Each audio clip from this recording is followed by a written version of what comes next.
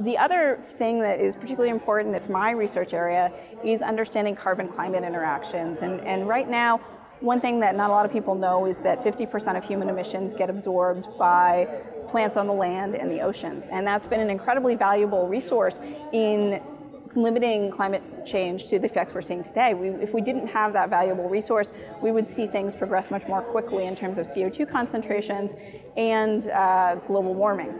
Uh, the problem is we don't understand those processes well enough to know if they're going to continue. And so you're seeing a lot of energy both with atmospheric observations and also new observations of the land surface to be able to understand some of those carbon climate interactions. So I hope that we'll continue to see progress and I think those three areas are things I'm, I'm really looking forward to.